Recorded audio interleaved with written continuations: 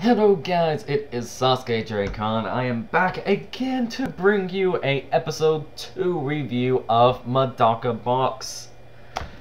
Okay, Medaka Box is going to be a 13 episode anime and I'm kind of sad about that because I'm really loving the show a lot more than Sket Dance.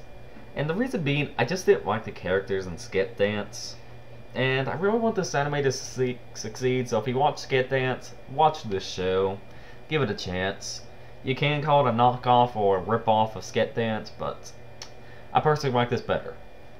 Okay, the episode is two parts. The first part, uh, a girl by the name of like Akise or something like that comes to the student council because her uh, track shoes were cut up and destroyed and all that kind of thing.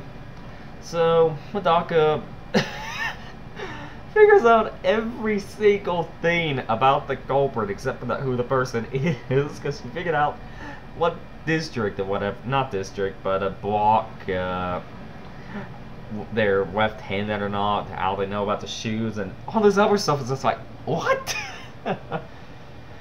um, I don't know, it's just, for a person so smart, how can she be so stupid? And you get to see that in, uh, the second part of the episode. But uh, they go. Uh, the guy goes investigating. I can't remember his name with Shiranui, and he has his binoculars looking at one of the girls because she matches pretty much every criteria. And then out of nowhere, Medaka appears, uh, sitting on the wedge, and just like, what?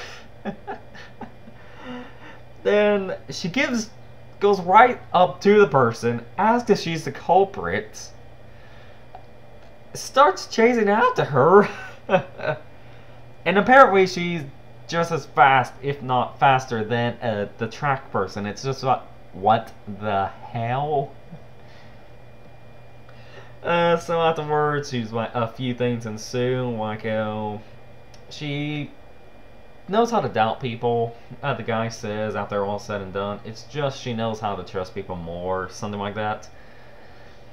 So he follows suit, he leaves. Um, then she, the girl that destroyed the shoes, replaces them. And that's pretty much the end of the first half. The second half I actually loved. This was just hilarious. What it is, is they get a free request that day from in the Medaka box, because that's apparently what everybody's calling it. Two requests are just some, uh, just random stuff. I like to do with uh, cafeteria food and the club room or something like that. And then the third one is finding a lost dog that was lost over like six months ago over winter break. And as soon as I heard that, I was like, what the beep? For various reasons. But the thing is, is Medaka gives it to the guy to do. And apparently, uh, she, she's not good with animals. So the guy takes Shiranui with him. Where would he ensues, because Shiranui is just pretty funny. And I love the way she gets like that riot shield thing. Well, it's not a riot shield, but close enough. And then she gets that helmet that those uh, things in Mega Man wears. I can't remember what those things are called. But, uh, and then she gives the guy sausages, because the dog that they see is, looks like a wild beast. Uh, because apparently it's not a puppy anymore, it's a full-grown uh, Russian wolfhound. And he goes up, runs up to the dog. Dog wakes up, runs away from the dog, and apparently uh, he gets a bit beat up. They go back to Medaka. She get, Medaka gets jealous because of him talking about Shiranui and all that kind of thing.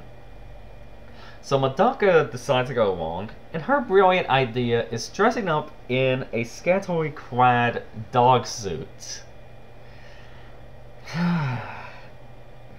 this is where you see, for such a genius, how much of an idiot she is. It's just...